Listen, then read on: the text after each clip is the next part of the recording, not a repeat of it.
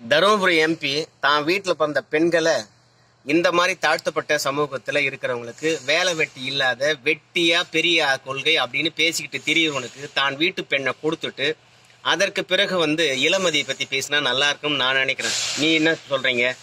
உங்க கருத்தை சொல்லுங்க. இப்போ ஒருத்தனுக்கு தான் பத்து ரூபா கொடுத்துட்டு அவன் அஞ்சு ரூபா கொடுக்கலன்னு குறை சொன்னா நல்லா இருக்கும். பெரியார் கொள்கை பேசுறாரு ஜோதிலால் பூலே கொள்கை பேசுறாரு அம்பேத்கர் கொள்கை பேசுறாரு இதெல்லாம் ரொம்ப நல்லா இருக்குது. கலைஞர் இந்த மாதிரிலாம் செஞ்சிருக்காருன்னு பேசுறாரு. சரி அவங்கெல்லாம் செஞ்சாங்களே அவங்க வழி வந்த தருமபுரி எம்பி செந்தில் அவர்கள் என்ன செஞ்சிருக்காரு? ஏன் உன்னுடைய தகுதிக்கும் உன்னுடைய ஸ்டேட்டஸ்க்கும் தகுந்த மாதிரி தாழ்த்தப்பட்ட சமூகத்துல யாருமே கிடையாதா? உங்க அக்காவை கொடுத்துருக்கலாமே இல்ல உன் பொண்ணை கொடுத்துருக்கலாமே.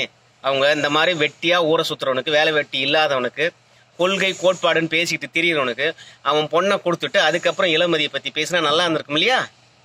அப்படிலாம் பேச மாட்டாங்க. அதாவது சட்டமா இருந்தாலும் சரி அதே மாதிரி வந்து ஜாதி மறுப்பா இருந்தாலும் சரி அடுத்தவனுக்கு தானே கண்டி தனக்கு கிடையாது. திமுக திமுக திமுக செஞ்சது செஞ்சதுன்னு சொல்றாங்க. இந்த திமுக தான் அதாவது இவர் வன்னிய சமூகத்தில் இருக்கார் சத்திரிய சமூகத்தில் இருக்கார். இந்த வ- சத்திரிய சமூகம் எங்கெல்லாம் அதிகமா இருக்கிறோ அந்த இடத்துல கூட மாவட்ட செயலாளர்களாக வன்னியர்களை போடல. அதை பற்றி கேட்பாரா வன்னியர்கள் தான் அதிகமான பேர் திமுக ஓட்டு போடுறாங்க. ஆனா திமுகவுல என்ன பதவி உயர்வா கொடுத்துருக்காங்க கேட்டிருக்காரா?